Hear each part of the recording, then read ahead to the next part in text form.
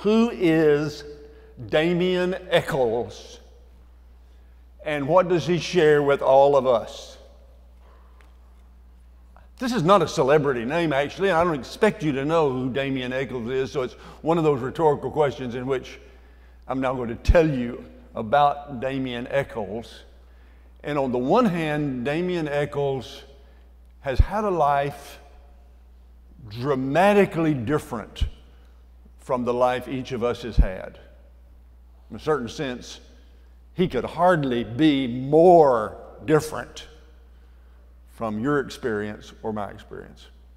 But on the other hand, Damien Echols taught me something about one of the most fundamental, universal, deepest aspects of what it means to be human.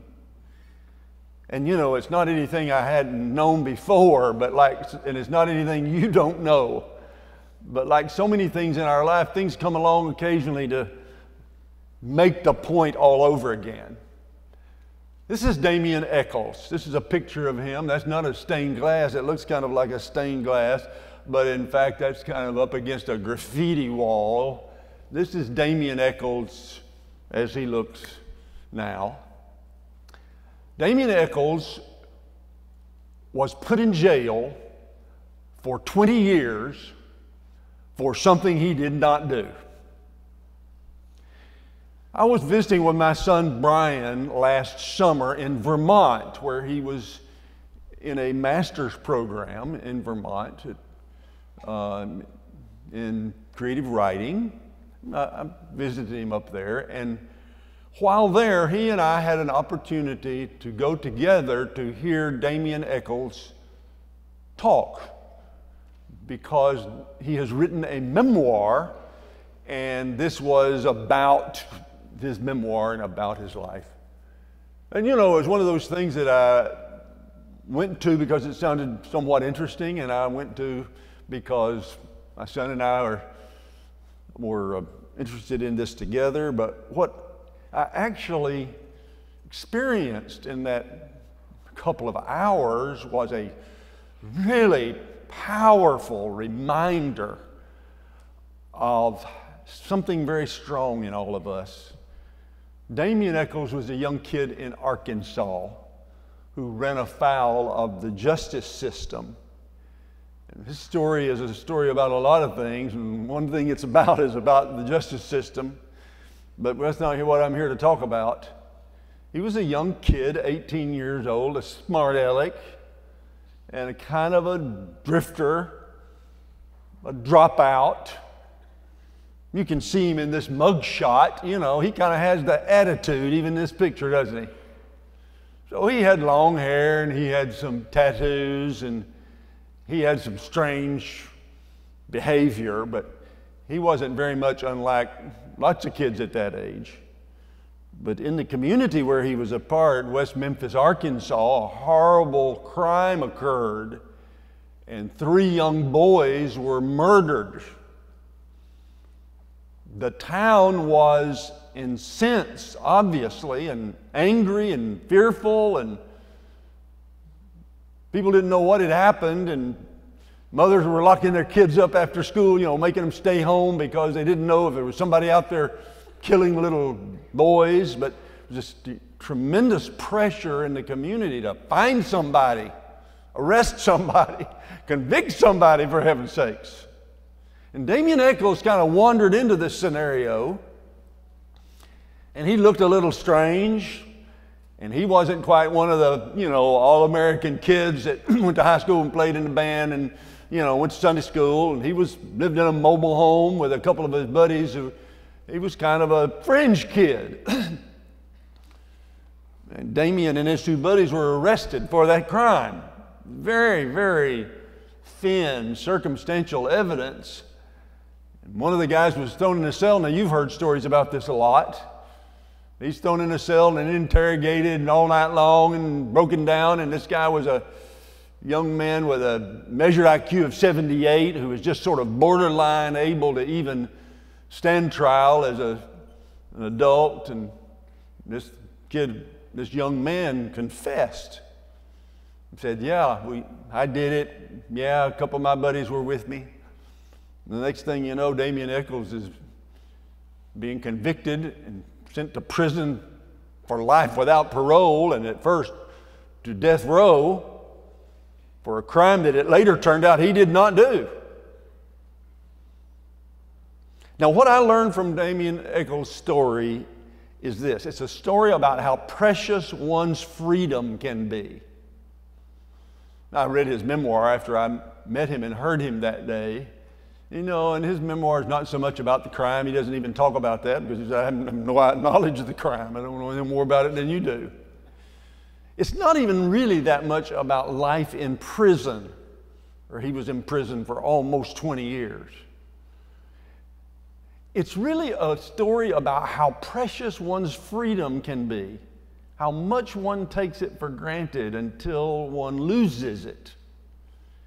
And when you hear this guy talk, although he's very low key and very soft, he's not angry, he's not loud, but somewhere in that soft, reserved style, there's this passion for life that he's missed out on.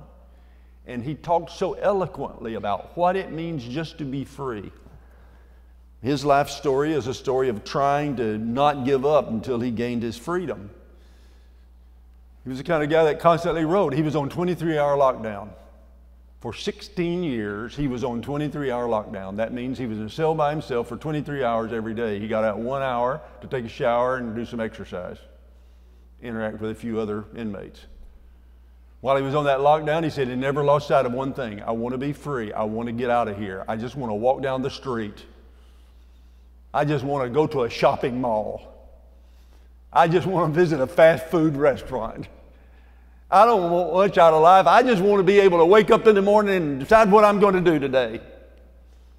I just want to look forward to the weekend knowing I'm going to get off from work. I just want to be free. And he describes with such quiet passion this motor that was in him that never turned off year after year after year in Arkansas State Prison, in which she looked like there was no hope. His appeals were denied, nothing good was happening, but he kept doing everything he could. He wrote letters to celebrities, he wrote letters to judges. He tried to find some way to get somebody to pay attention to him and to say, We did not do this. And finally, the wheels meshed. Interestingly, you know, and, and a, a, documentary maker heard his story and decided from Europe, I want to come do a documentary on this guy's life. And she did a documentary on his life, and you know, nobody saw the documentary much. It, you know, it played in a few film festivals and on European television, but Johnny Depp saw the documentary. Now, I don't know much about Johnny Depp. Seems like a very strange customer to me you know, like the hair. I'd like to do Johnny Depp hair for one day or two. Uh, Johnny Depp saw the documentary about the West Memphis boys that got in prison and he thought they were innocent and he decided he's going to go to bat for them and he started going he went out there and visited them and, and then he got in touch with other celebrities and they finally they got some attention and they raised a bunch of money and they hired some more lawyers and they finally got a new trial and then after 18 years in prison DNA evidence surfaced that absolutely cleared him. And he got his freedom back. This is a shot of him leaving prison, or soon after he was out of prison, with a young woman who became his wife, and, uh, and he now lives in Massachusetts, a quiet life in which he says, I don't want to be famous. I don't want to be rich. I just want to be free. I just want the ordinary things, in other words, that before he went to prison, he took for granted. The story of Damon, Damien Echols illustrates one of the most powerful forces in human life. In a very, very dramatic way, it was in him but in a very real way, it's in all of us. That same motor, that same fire, that same thing that wouldn't let him rest until he found a way to gain his freedom is in each one of you. It pushes you toward freedom. It's part of the way you, we are engineered. It's a gift of God. The drive for freedom is built into every human being, it's part of the wiring. It's not an instinct quite, because human beings don't really have instincts, but it's such a strong primal impulse. It certainly looks like an instinct and feels like an instinct, and what it does is it creates the energy for all kinds of powerful accomplishments. We see these photographs from Ukraine. I don't understand the I don't understand the politics of Ukraine at all. I don't know who's on, who's out, who's good, who's bad. I'm just going to wait, let it settle down, try to figure out who the good guys are. But I do know one of these, this, in all the turmoil of Eastern European politics, there is one theme that lines through all of it, and that is the desire people have to be free from somebody else telling them what to do. For the Ukrainians, it's the Russians. For the ethnic Russians in Ukraine, it's the Ukrainians. Everybody wants to be free and everybody wants to determine their own fate and everybody wants some kind of independence. And that's not just true in socio political and cultural ways, it's true in intensely personal ways. And it's never truer than when you're in college. You might as well put a bumper sticker on your car, all of you, when you get 18 and go off to college. I'm out of here. Here meaning home, not jail but sometimes it feels like jail. Life without all that parental interference. A little cubicle called a dorm room, home sweet home. Why do students by the millions leave comfortable bedrooms in their parents' homes and live in little cubicles called dormitory rooms and love it? Because along with the package comes the freedom. College is the biggest explosion of personal freedom that we ever experience in our lives. Finally, you get to get up when you want to get up, go to school if you want to go to school, miss class, make class, wear what you want to wear, be with who you want to be. And what happens is going off to college or going off to the military or going off to work or going off in a marriage somewhere in late teens or early 20s is the point at which this drive for personal freedom really reaches its apex. And so we not only use this energy to accomplish great things, this energy also can have a downside. Sometimes we can want to be free from parental influence or interference. We can want to be free from constraints. We want to be free from people telling us how to think. We want to be free from people telling us what the rules are. But sometimes, along with all that, we decide we want to be free from things that really matter. Sometimes, in getting free from things that would control us, setting our own path, living our own life, obeying that impulse that God put in us, sometimes we not only get free from the bad stuff, we get free from the good stuff. Freedom can have a downside.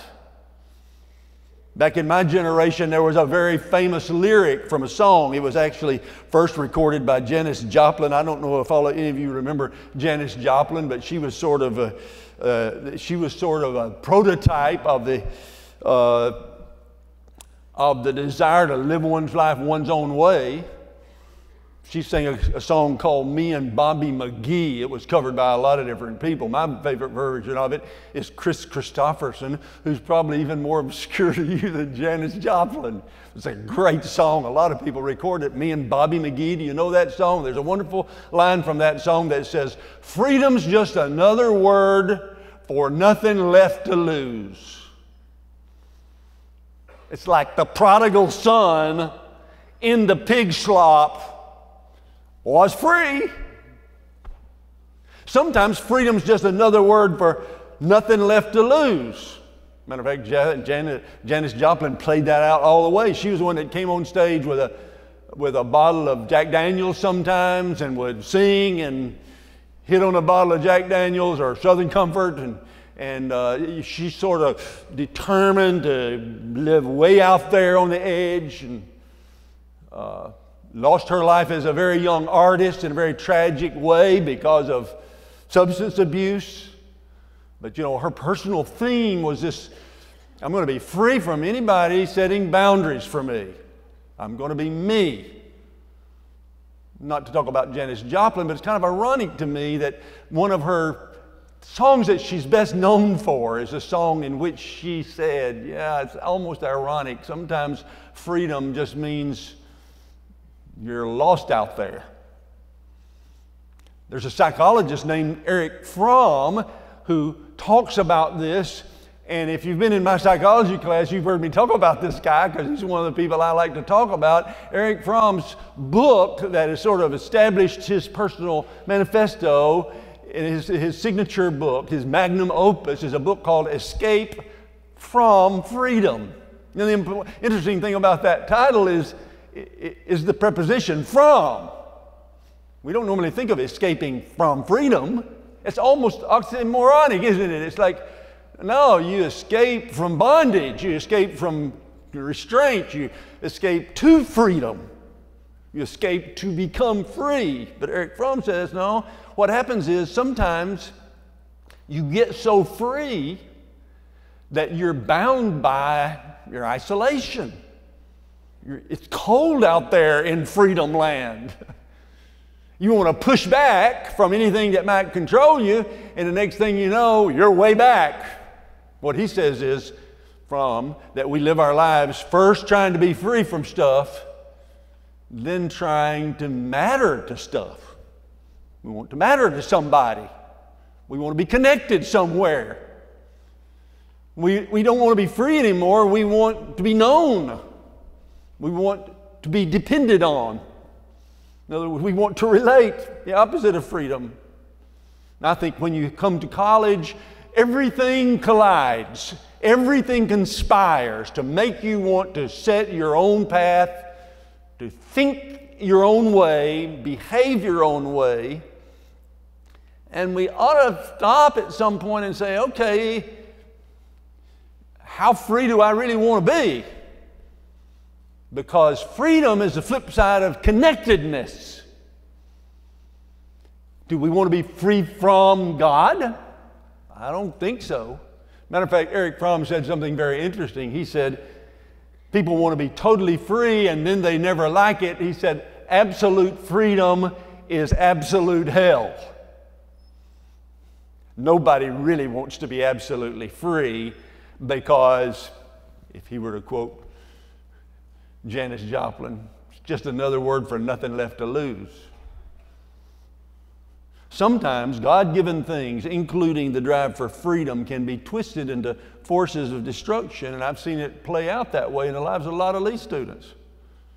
They want to push back from the rules, push back from parental control, push back from a narrow, fundamentalist way of thinking and I don't mean fundamentalist now in a theological sense, I mean in a much broader sense, push back from a kind of confining culture and set their own course, live their own life, think their own way, behave their own way, and that's terrific. But at, like so many other gifts from God, it can be turned into something bad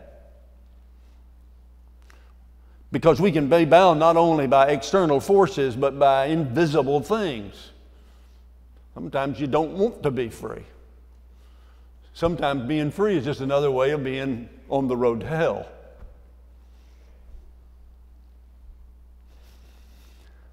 When my family lived in Boston, I had young kids. We lived in an apartment right in the middle of the city.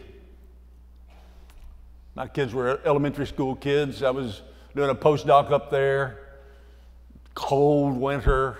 Jeez, long, cold, hard winters. I don't really like pets. We couldn't have had pets in this little apartment anyway, but my kids started pressing me to have gerbils. They wanted gerbils.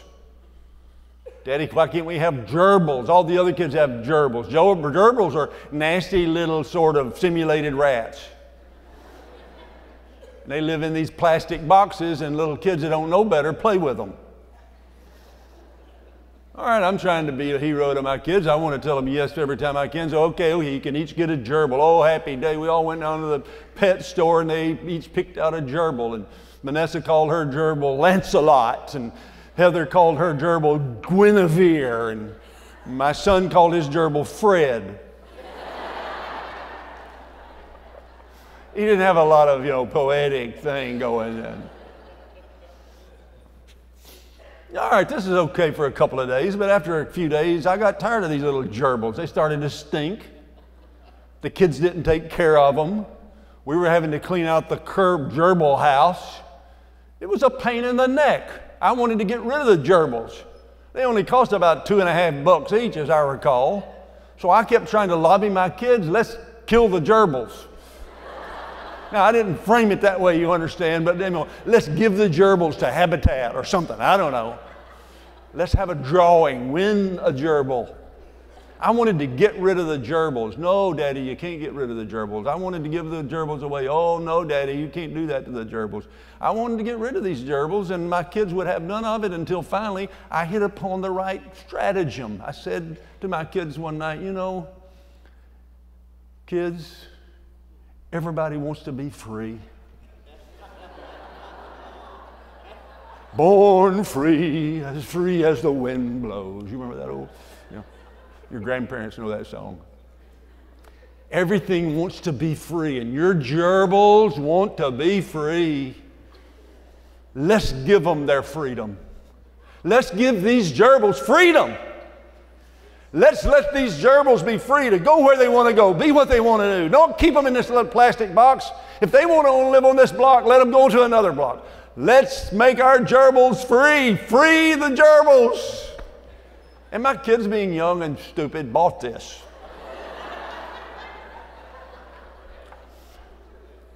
So, on one cold evening in a neighborhood with lots of hungry cats,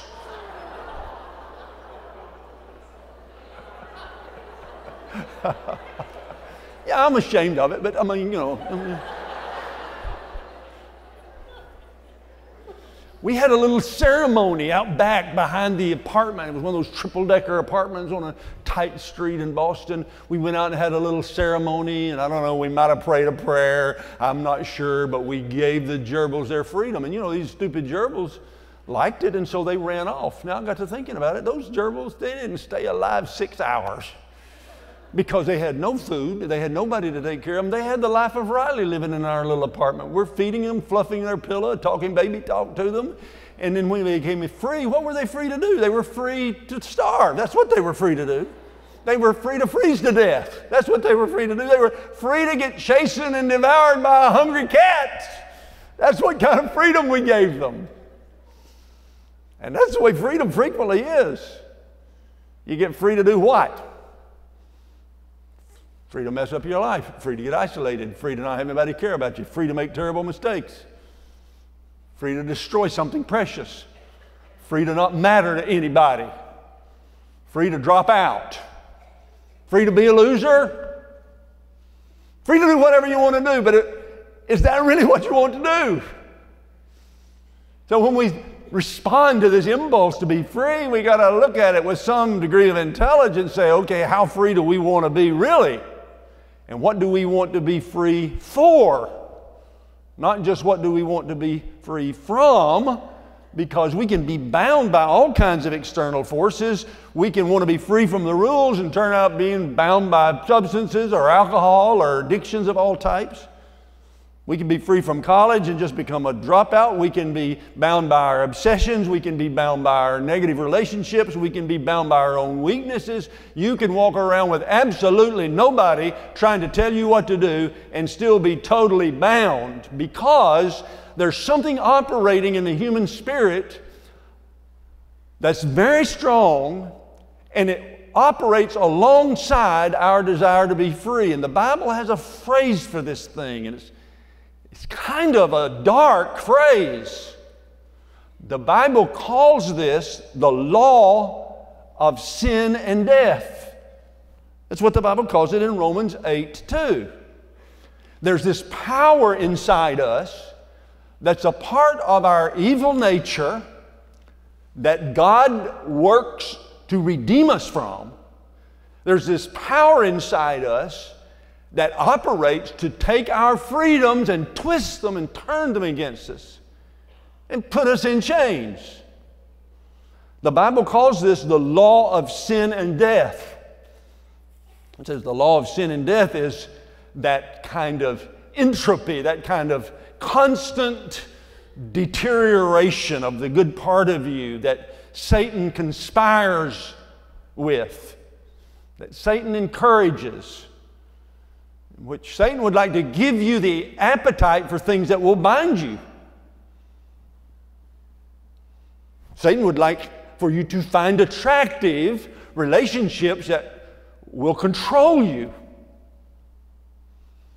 Nobody who's bound by substances, and God knows there are millions in this country, and we, we see hundreds on the Lee campus over a period of 25 years. Students who will come to us in a counseling situation and acknowledge, I have a problem. Our rule here is that we don't respond to that in a, in a disciplinary way. If you go to a counseling center on the Lee campus and you say, I'm struggling with alcohol or I'm struggling with something else, whether it's a substance or a behavior, it can be an eating disorder, it can be cutting, it can be uh, any kind of substance. If you go to seek help on our campus, we will try to help you on our campus and we will not respond in a disciplinary fashion. So if you say, I'm lonely and I'm struggling and I'm away from home, and I've found out that if I get a little buzz, I feel a little better, and so I'm, I'm, I'm, I've gotten more and more into self medicating with alcohol or whatever it is. You know, what, what, what is happening, and that's the story of so many people in so many places, including Christian people in Christian places, what's happening there is your desire for freedom and your ability to do what you want to do. Gradually, Satan takes it and turns it and makes it an instrument of your, of your captivity. So, you know, we've seen some tragic stories here at Lee where this sometimes reaches its final tragic result, where people say, I can't get a, out of this trap, where it's a relationship or behavior or substance or a reputation or whatever it is. The law of sin and death constantly works to pull us down, to feed the dark side of your life. Now, I know this is not a happy sermon on a beautiful spring morning, but you know, there is this law of sin and death that operates in the universe. Now, that's the bad news. Here's the good news that's also a part of that scripture in Romans 8 and 2 it says this For the law, there's another law. The law of life in Christ Jesus, the Bible calls it. The law of life in Christ Jesus. Christ Jesus, the freest individual who ever lived on the face of the planet. Jesus, who knew the kind of freedom we can only dream of, that we can't even imagine. Because whereas we're bound by circumstances, he wasn't. We're bound by time, space, he wasn't. Freest individual who ever walked on the place of the on the face of the planet, and what he did was he gave himself up to the cross to be bound by men, hung on a cross. He died for us in order to put in place another law the law of life in Christ Jesus. And this scripture says the law of life in Christ Jesus can make us free from the law of sin and death. That's real freedom. When you come to Jesus Christ and you say to Him, I don't want to just be artificially free, I want my spirit to be free. I want to be free to be the kind of person I really want to be. I don't want to be jerked around by somebody else's opinion where I'm always scared to death. What do people think? I want to be free from that. I want to have the freedom to respond to God in a way that's natural and spontaneous and it doesn't have anybody else telling me what to do. Don't tell me when to raise my hand, when to put my hand down, when to say this, when to say that. Just affirm me when I do it. But if you're sitting by somebody whose personal power over you is so great that you can't be spontaneous in your expression toward God, then that you're not free to that degree. Jesus says, I want to I want to live to make you truly free, free to follow whatever dream you have, free to be whoever you want to be. And that's what living for Christ is all about. It's not about kind of ratcheting up our willpower till we finally please God. It's about coming to God and saying, You died to give me the gift of true freedom in Christ Jesus. And I recognize that I need it to experience true freedom. And that's what I wish for all of you. This will be the last time that I am up here in the role of a minister this semester and this year. And I always realize at a time like this that I won't see many of you again in this setting. We've got the biggest graduating class that we've ever had in the history of Lee, monster graduating class. All, the, all you guys, like Caleb and all the rest of them, I won't ever have a chance to talk with you like this. Many others, for various reasons, won't be back next fall. If you're back next fall, I'll be right in here yelling at you till you finally graduate. So, what I want to say to you this, this morning is this this motor in you that says the most precious thing in life is for me to be me, live my life, dream my dreams, believe in what I believe in, look the way I want to look, understand what God has for me. That motor that's in you was put there by God, but for it to work, You've got to give it back to God so that you can be free from the law of sin and death by the power of the law of life in Christ Jesus. Amen. That's it. Let's stand.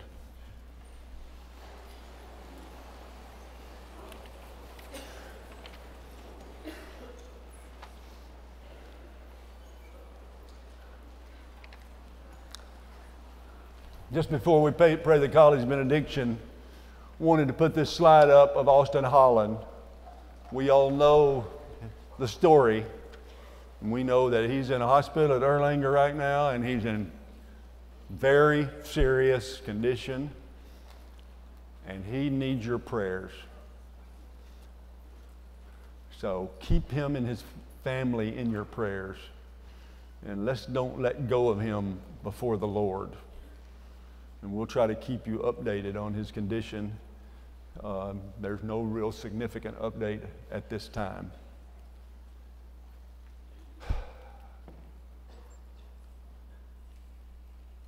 You know, I really love you very much, irrationally sometimes, especially since I don't even know you.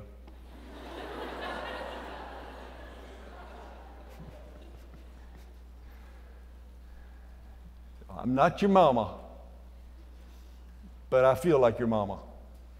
I don't feel like your daddy, I feel like your mama. Testosterone deficiency.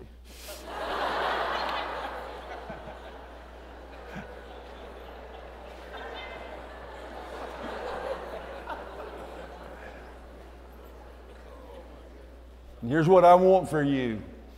I want you to go have Easter weekend, have a great time, be cool, stay safe then I want you to come back after Easter weekend and I want you to throw it in gear